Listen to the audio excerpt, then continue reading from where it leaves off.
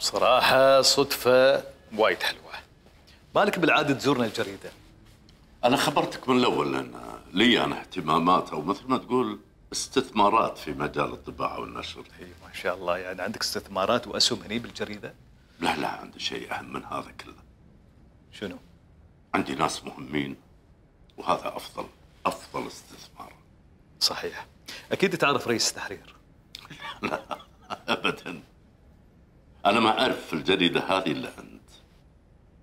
الله يخليك هذه هذا شيء يشرفني بصراحة.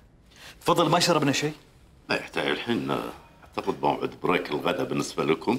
فخلنا نستغلها أنا وياك شوي. ونروح نتمشى ونتغدى بنفس الوقت. إيش رأيك؟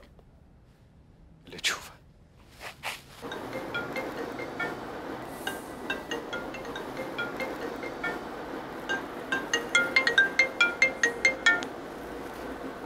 هلا عبد العزيز. يا راشد فطرتك وايد ما جيت حسيت روحي تعبان فقلت أجي البيت أريح. شكله الخيط اللي قطيته ما صاد لك ولا سمكة ها؟ لا بالعكس صدت سمكة. بس للأسف ما عرفت شنو اسمها. يا عمي مو كل واحد يعرف يحدق. صيد السمك مو سهل. هم بتصير رئيس تحرير وهم بتصيد سمك ما ينفع. لسانك ثقلان. شكله قاعد تشرب؟ لا لا ولا اشرب ولا شيء أصلا. أنا شو اسمه صار لي فترة يعني كذي ما قاعد أتكلم فتحس إن لساني ثقيل ولا أنا ما قاعد أشرب. تعرف لو أنت قدامي سويت فيك الحين؟ قد بتسوي يعني؟ أكيد راح تأخذني بالحضن وتطبطب علي وتقول لي فضفض يا صاحبي وكذي الربع يسوون حق بعض. بس الأصدقاء ما يكذبون على بعض. وأنت وعدتني يا عبد العزيز. قوم. قوم روح على البيت يلا. شلون يعني؟ ما راح تشوي لنا السمكه اللي صدتها اليوم؟ عبد العزيز أقول لك قوم روح على البيت. وخذ تاكسي ها؟ لا تفكر إنك تسوق. يلا قوم. زين زين لا تقعد تحن فوق راسي. طيرتها. يلا باي.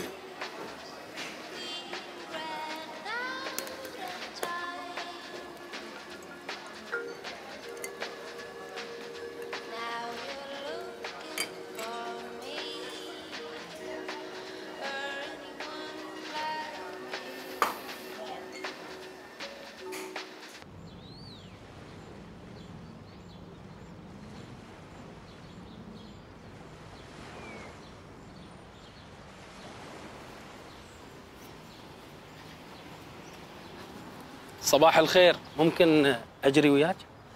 أفا أفا وفوي. اتين وما تخبريني؟ أول شيء صباح النور. ثاني شيء أنت تعرف إن أنا كل يوم يهني أتريض. ولا ها نسينا آخر مرة شو صار؟ شوية وكنا بنطلب الإسعاف.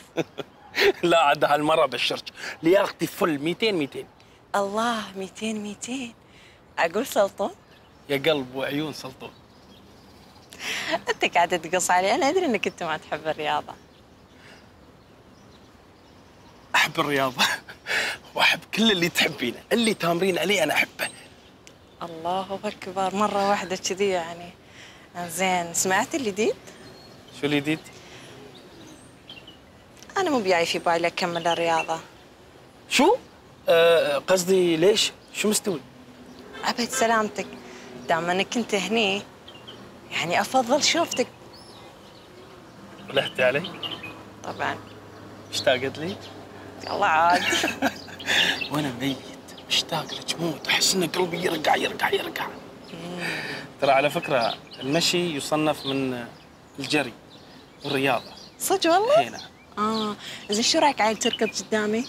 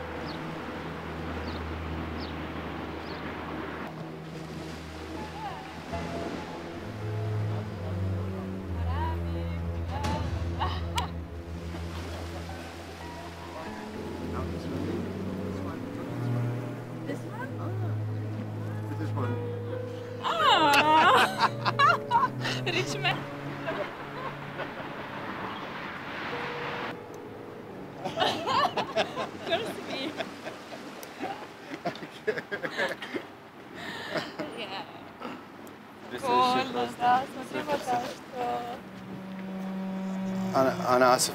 اعتذر أعتذر منكم آسف. No problem.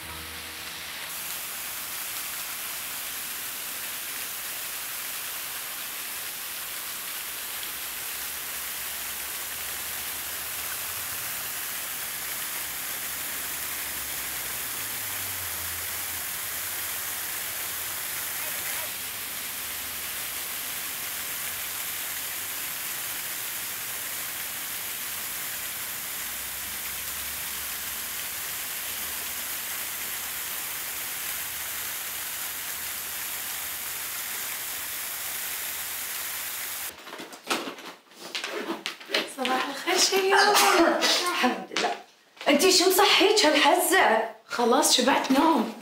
زين رايحه المدرسة؟ حياتي يلا حبيبتي يلا عشان ما نتأخر الباص الحين بيوصل.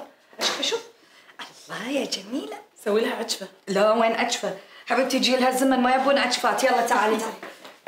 يلا سلمي على خالة يلا. bye حياتي bye. عطلي أنت. ببالك هيا يا حلوة.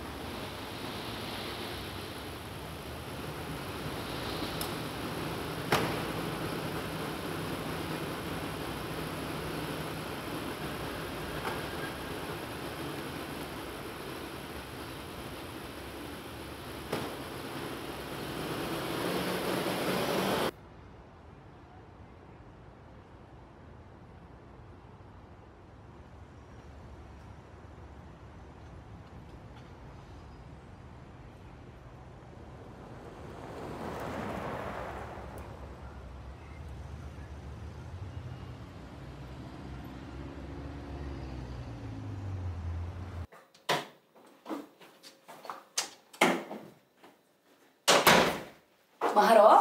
شو تسوين؟ قاعد اشرب قهوه عليك بالعافية زين والله تصرفتي أختي ابي اغير هالورود أحس لونهم مو عاجبني؟ يجيب الفقر الورد بالبيت حلو وايد. أبي أغير هالورود أحط ألوان فريش؟ أصفر؟ وأنا لابسة أصفر؟ الحين أنت كل يوم تقعدين هالحزة؟ الله يعينك والله. حبيبتي تعودت خلاص. حياتي صارت مبرمجة على هالحالة وعجبتني حياتي الجديدة. إنزين نجوى ليش ما تجيبي لك خدامة تساعدك بالبيت على الأقل؟ تدرين عاد حاولت بدل الواحدة عشر لكن كلهم ولا واحدة ضبطت وياي. مشكلة الشيوم الله يهديها. تبيني أسوي لها كل شيء بإيدي. الله يا نجوى يعني أنا مشطها أنا درسها وأنا ما أدري شنو أنا ما أدري شنو. ساعات تقهرني. أكون تعبانة راجعة من الشغل أبي أنام. بس شو أقول؟ شو أقول لك؟ تعرفين عاد لما تصحى الصبح عليها نظرة شريرة شي تقول صباح الخير يما أنسى الدنيا باللي فيها. حبيبتي شعور ما أعرف أوصفه لك. يا حلو هالشعور. ما شاء الله ما شاء الله. الله يرزقك بولد الحلال. اللي تجيبين إن شاء الله مو بواحده ثنتين ثلاث ست. ست كلهم دفعة واحدة. ستة؟ زين خلي الأبو الأول قبل العيال. يا أختي منك أنت مخرعة الريايل ما أدري إيش تسوين فيهم. تطقينهم تعضينهم ولا بنت بهالجمال. وبهالطول وبهالثقافة لا وصحفية بعد. ولا ريال صوبها. تدرين عاد؟ معك حق. أحس أنا الغلط مني. يا أختي ما أدري إيش فيني. يعني أكون معجبة بالشخص ويكلمني كلمة كلمتين ثالث كلمة أكرهه وأكش منه. لأنك ساحرة. أكيد تدورين الحب. مبين عليك ام قلب إن شاء الله تلاقينه. شوفي حالتي قدامك. هذه من ضحايا الحب. ولا انت راضية عن زواجي وطلاقي؟ الحب يخليك تصيرين مثل المينونه تطقين في راسك من طوفة لطوفة وتقولين أنا الغلطانة ويا ليتني ما سويت كذي. زين أنا لازم أقوم أرتاح شوي علشان بروح قسم الشرطة بعدين أروح أجيب واحد يصلح باب البيت. ويسكتي أنا عندي مليون شغلة عندي ثلاث تحقيقات فتحتهم وللحين ما أعرف شلون أخلصهم. مهرة نسيت أقول لك شغلة. آه عبد العزيز درى ترى بالسالفة. أي سالفة؟ سالفتك أنت بس الله يجزي خير ما قصر. الصراحة تم معاي لما الشرطة دخلوا البيت وبعدين آه، وعلي راح البيت. سالفتي أنا؟ زين منو قال؟ له؟ شو بعد لا تقعدين تبطلين عينك وتطالعيني كذي ترى أنا مالي شغل لا تتهميني. أ- هو عرف بالصدفة. بعد قولي أنا قلت له. وأنا يوم دقيتي عليه طلعت من مجلة أركض كني مينونة. يا ربي. أنا ناقصة فضايح الحين. أي فضايح الله يهديك. أه، تكبرين المواضيع انتي أه، ترى شوفي عزوز وايد طيب. كان يشتغل معاي كم سنة. إحنا كنا بقسم واحد. ريال خدوم وينن. عسل. إنزين أنا شنو راح أقول له الحين؟ شنو شنو أشرح له؟ لا لا تقولين شيء. إيش فيك؟ أصلا أه، أنت سوي روحك ما تدرين. لأن أنا قلت له إن أنت ما تدرين. وبعدين كلنا ما ندري. ويه يعني قاعد تسوين مؤامرات من وراي. واي مؤامرات انت بعد يوم المؤامرات؟ يلا يلا قومي خلينا نتجهز ورانا الشغل قومي. الحين أنا بقعد أحاتي وايد.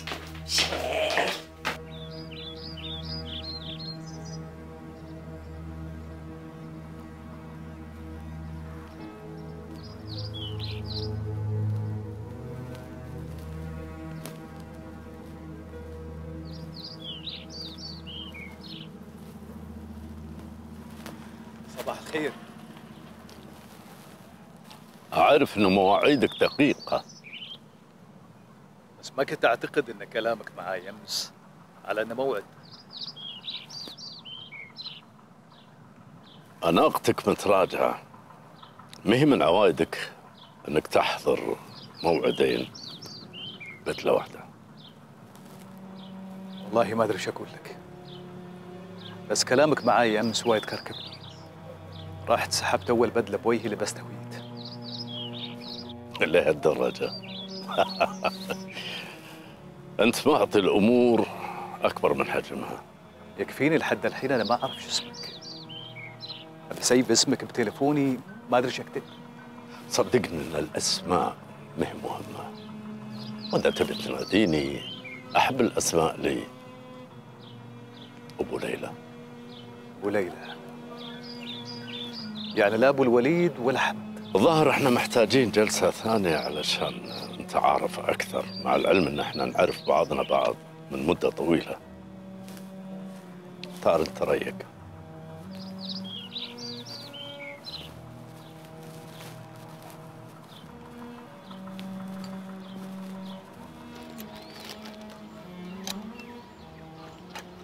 سلطان امم شوي شوي. اللي يشوفك يقول أول مرة تاكل. أنتوا تعرفين ان الريوق اهم وجبة في النهار؟ هي عارف إنها هم وجبة في النهار. بس عاد ما قالوا لك كذي. ايد شور عادة؟ أنا أصلا مالي خلق آكل ولا ابى آكل. مالي نفس. أنا بس ابى أطول الوقت في اليرسه وياك. تعرفين؟ والله في الفترة اللي ما أكون فيها قريب منك وأكون جالس في الدوام احس أحس إن قلبي مقبوض ما أقدر أتنفس مخنوق. لكن يوم أشوفك تردين فيني روح أحس إن العروج هاي تتحرك وينبض قلبي. دف دف دف حبيبي سلطان أنت مو مجبور تسوي كل هذا عشان تجي تشوفني. أقول لك شيء حتى أنا ما أحس بالوقت اللي أنت ما تكون فيه. عن جد؟ ليش؟ أنت شاك؟ ها إذا أنت شاك معناته أنا عندي مشكلة. لا مشكلة في شو؟ أني مو بقادرة أوصل لك إنك إيش كثر غالي علي. الله الله مغواها من رمسة تعرفين؟ أحس إن فيني طاقة غريبة. أبا أبا أنقز أركض. ما ما ما ما, ما أعرف ما أعرف. أبا أسوي كل شيء. لا لا لا. يا حبيبي لا ترقص ولا تنقز ولا تسوي شيء. إذا إحنا مشينا شوية وأنت ما شاء الله عليك كلت هالكثر. عي لو تركض شو بتسوي؟ باكل يما بس سوالفك. بس الموسيقى هذه أحبها وايد. المقطوعة هذه فيها أحاسيس ومشاعر متناقضة. اسم المقطوعة هذه ضوء القمر لبيتهوفن. ألفها بيتهوفن بعد موت أعز شخص عنده. تكمن قصة المقطوعة هذه في أنه كان ماشي بجنازة هذا الشخص العزيز. المقطوعة فيها تفصيلات دقيقة وعميقة جدا. عمرك مشيت بجنازة شخص عزيز عليك؟ لا. ما أتمنى لك التجربة. أبدا ما أتمناها رغم أنها لا مفر منها. أصعب ما فيها أنك كنت مأجل كلام وأحاسيس وايد كنت ودك تقولها حق هذا الشخص العزيز. لكن للأسف يموت فجأة دون سابق إنذار. لا. تشعر بالخذلان والندم على كل لحظة. ضيعتها بحياتك وانت تأجل التعبير عن هذه الأحاسيس. معنا لازم نأجل كل شيء لبكرة على أمل أن حياتنا وحياة اللي نحبهم تكون طويلة ومستمرة. أنت مثلا صار لك سنة ونص ما شفت أمك ولا أبوك. مجرد كلام عابر بالتليفون. كلام بارد. حتى ما قلت لهم إني أنا أحبكم. أخوك. اللي درس بأمريكا وأخذ الدكتوراه. خمس سنوات ما شفته ولا فكرت أتصل فيه. خطيبتك البريطانية اللي دعمتك ووقفت وياك. سيد بوليلة أنا بصراحة بديت أخاف منك. بالعكس يا راشد بالعكس. كلامي لازم يريحك. تفضل استريح.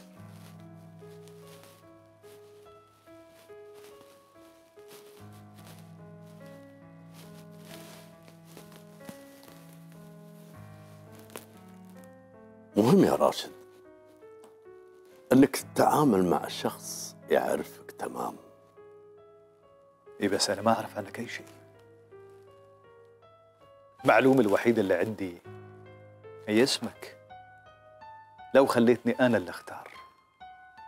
وما أدري بعد إذا كان حقيقي ولا وهمي. طالع حواليك. هذا أنا قدامك. لحم ودم وأحاسيس. سيد أبو ليلى إيش تبي مني بالضبط؟ مصلحتك. وين مصلحتي؟ سؤال مهم. بعض الأحيان الواحد منا يفكر أن مصلحته هالاتجاه لكن للأسف تكون بالاتجاه الثاني. قصدك حضرتك إنك تعرف مصلحتي أكثر مني؟ تقدر تقول أن البوصلة اللي عندي دقيقة جدا بحيث توصلك إلى اليابسة. في النهاية إلى الأمان.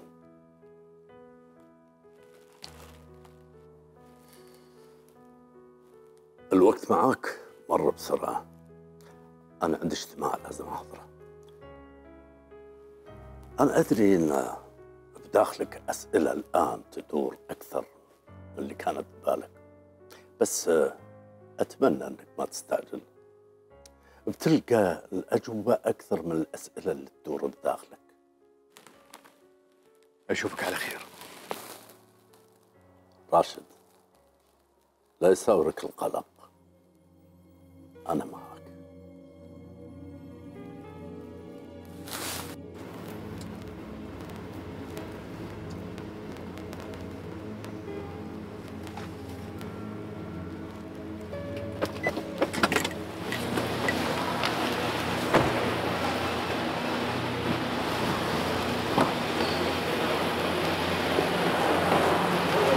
هذه من أبو ليلى.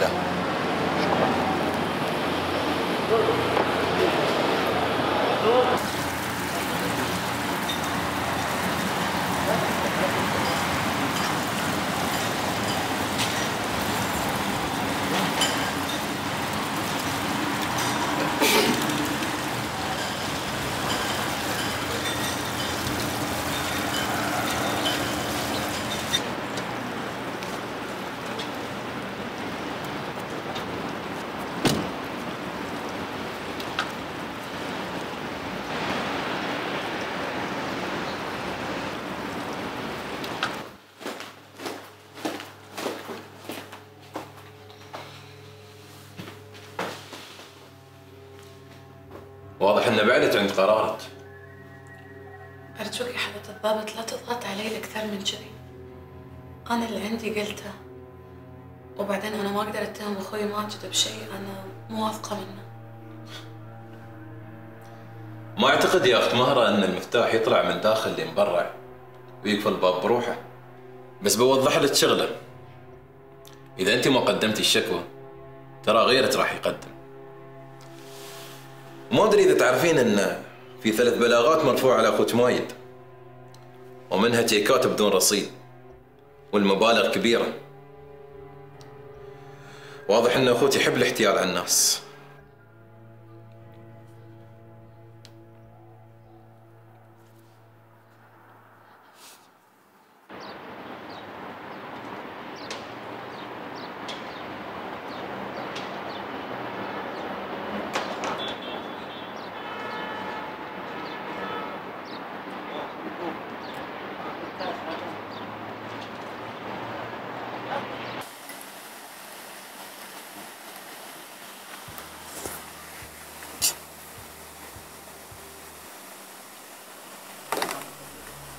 ليش متصلة هذه؟ إيش تبي مني؟ أكيد تبي تبهذلني وتمسخرني وتعطيني حكم ونصايح. لو كان فيك خير ما كنتي وقفتي معاملة القرض يا مهرة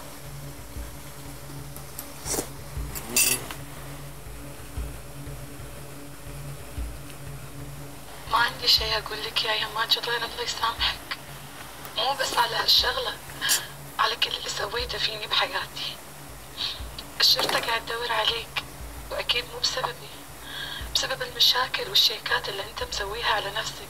دير بالك على نفسك يا أخوي.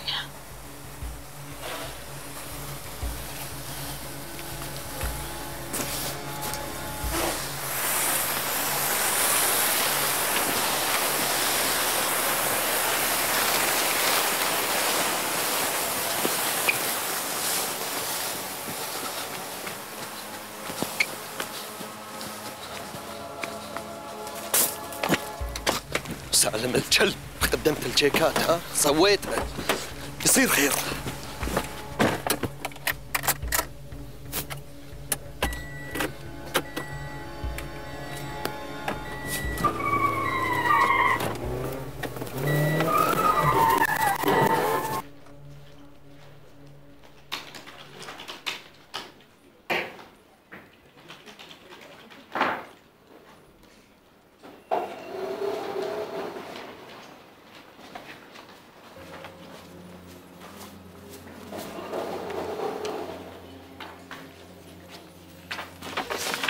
شفتي شو عاملة فيني نوال؟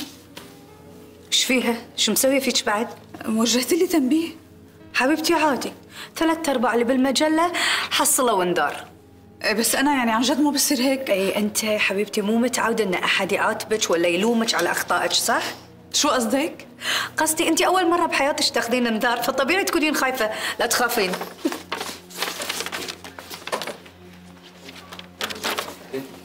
شريف شو بها نوال؟ زعلانة شي؟ صاير شي بالمجلة أنا ما بعرفه. ما أدري أنا بروحي جاي أسألك. طيب فوت لعند أسألها لا بسألها ولا تسألني أنا مالي علاقة بهالموضوع. ماني مصدقتك. وليش مو مصدقتني؟ لأن كل أسرار نوال هي عندك. لطيفة اطلعي من راسي بهالموضوع هذا. هذا المفروض إنه يصير. مو بكل يوم بيتم على حالة. والله هذا الحكي جديد كتير. أنت سألتيني سؤال وجاوبتك عليه. شيء ثاني ما عندي. عن اذنك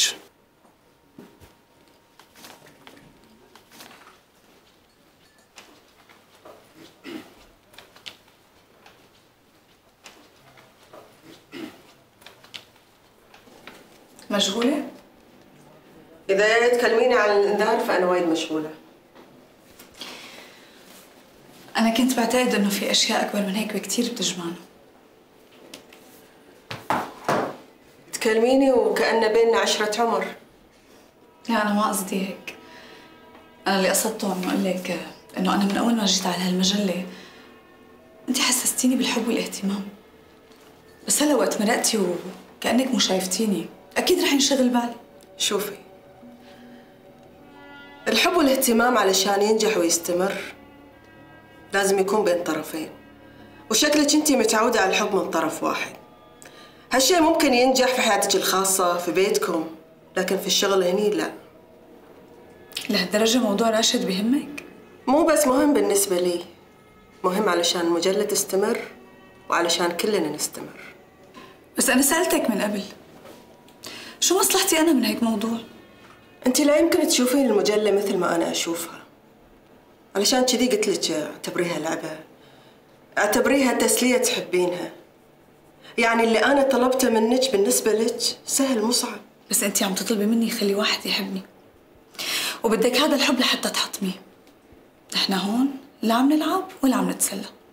يعني أنا ممكن أعمل هيك حركات بس بالقعدة مع الشلة سهرة كوفي شوب هيك يعني. تدرين شنو مشكلتك يا لطيفة؟ إنك تتذاكين على الشخص الغلط. يعني لو واحد غير يسمعك الحين كان صدقك واقتنع ويمكن تعاطف معاك بعد. خلينا لا نفتح الدفاتر القديمة لأنك بتشوفين أشياء سودة تزعجك. خصوصا أنت يا حرام يعني ما صدقتي تتصالحين معاها وتنسينها. لطيفة.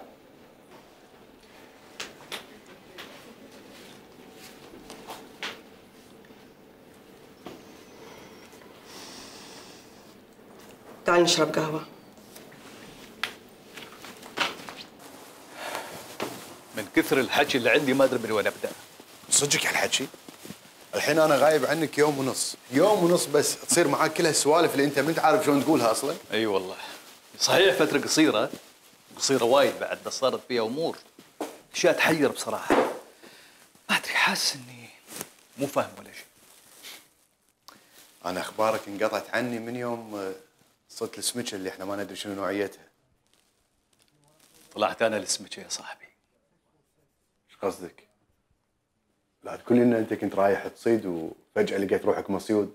تماما هذا هو شعوري الحقيقي كنت حاسس إني ماسك خيط واحد ومادة للبحر ومسيطر على كل الوضع فجأة لقيت بإيدي مال 100 خيط وكلهم متداخلين ببعض ومتشابكين لا وقصار بعد مواصلين للماي راشد إذا بتتم تتكلم معي كذي ترى أنا أفكاري بتصير حالة حل الخيوط اللي عندك. كلها بتشابك في بعضها البعض.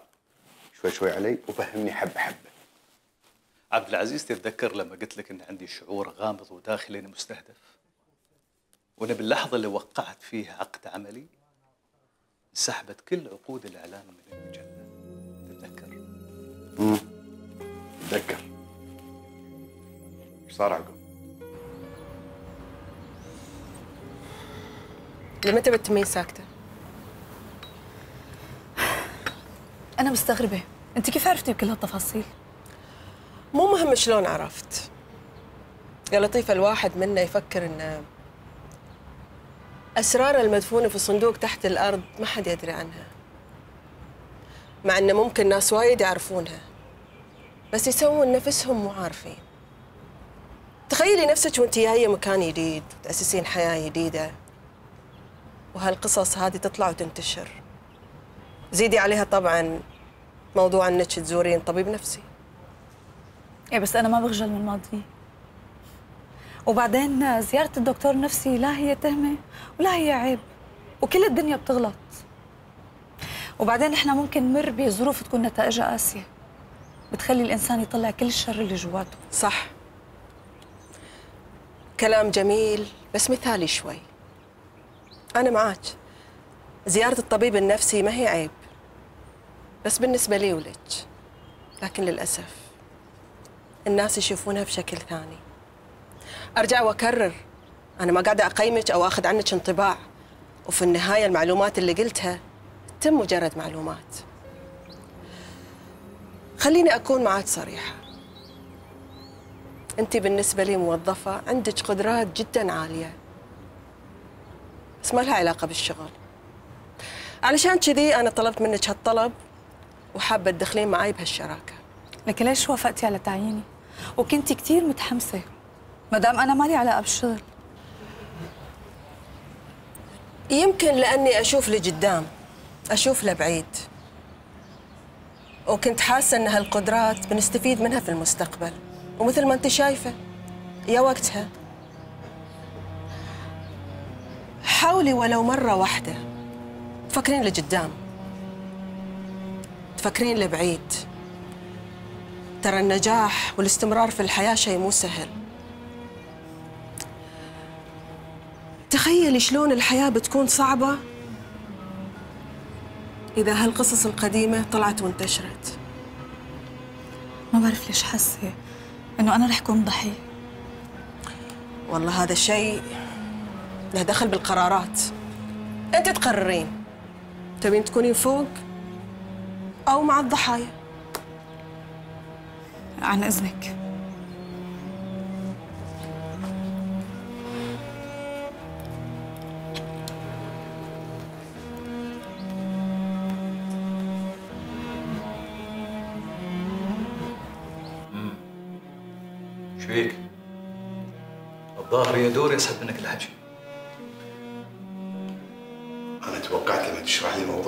الموضوع بالتفصيل انه راح توضح الرؤية. ما توقعت انه عقب هالسالفة هذه كلها بتعقد زيادة. اي الحمد لله. حسيت بحيرتي يعني. زين شخص مثل هذا توقع شيء منك؟ أنا هذا اللي محيرني أكثر. هذا اللي ذابحني. يعني واحد بهالثروة هذه وبهالنفوذ إيش يبي فيني يعني؟ بفيده بشنو أنا؟ أخي ما تدري. يمكن الريال شايف فيك شيء أنت مو شايفه بروحك. ترى هالنوعية من الناس يفكرون بطريقة مختلفة تماما عن الطريقة اللي أنا وياك نفكر فيها. صحيح. أنا بالاساس كنت أدور على الشخص اللي له علاقة بسحب الإعلانات من المجلة. بس لما شفته نسيت أسئلة أو أستفهم منه مع إنه بارك لي على الشغل الجديد. طيب إيش ناوي تسوي معاه الحين؟ ما أدري بس بس العدد لازم ينزل ترى. إحنا إحنا وايد تأخرنا على الطباعه عبد العزيز رتب الاجتماع مع الموظفين. حاضر على أمرك.